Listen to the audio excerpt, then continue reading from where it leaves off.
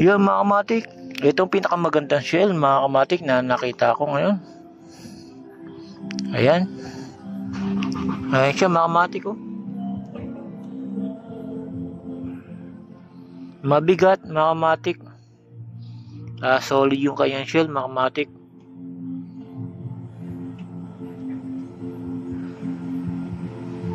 Ang kakaiba mga kamatik.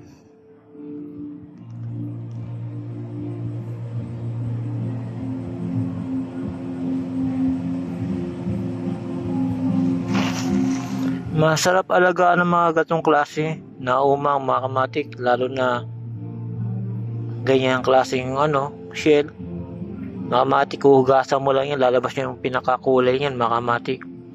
Pangalawa, kailangan pagka mag-aalaga kayo nito maraming shell na kayong itatabi kasi pagka lumalaki siya mga kamatik, umaalis siya sa dati niyang shell mga kamatik kasi malaki na siya, magana pa siya ng mas malaki pang shell mga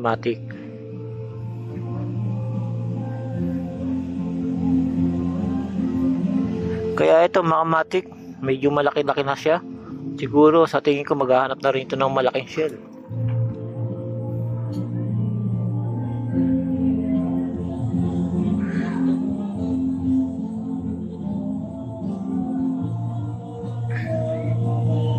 Yan mga matik, magandang shell yan.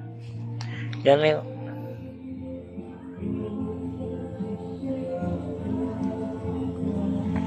Yan mga matik. Ito bububuka yung sipit niya, makamatik bubuka. Yan. Pagka nasipit kayo yan, huwag mo biro-biruin niya, talaga masakit makasipit yan, mga ganyan makamatik.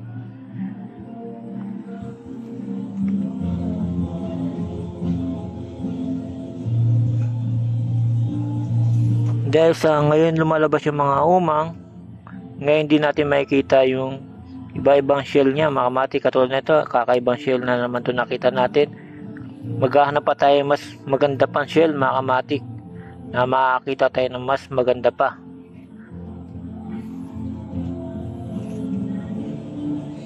Pero para sa akin mga mas maganda na tong shell na to. Maganda siyang alagaan. Magal to mga hindi siya pwedeng ibabad sa tubig. Kailangan may buhangin Huwag siya maraming tubig kasi pagka maraming tubig, makamatik mamamatay siya. Kailangan kon ano lang, konti lang siya. Yun makamatik. Mas marami buhangin. Mas maganda ilagay ito sa aquarium na buhangin lang. Tapos puro shell, yan makamatik. Uh, konting tubig makamatik. Maalagaan nyo yan makamatik.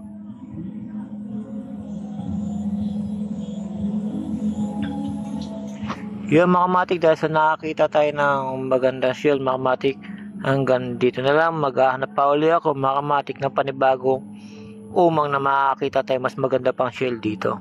Yun mga kamatik, hanggang dito na lang, salamat. Thank you.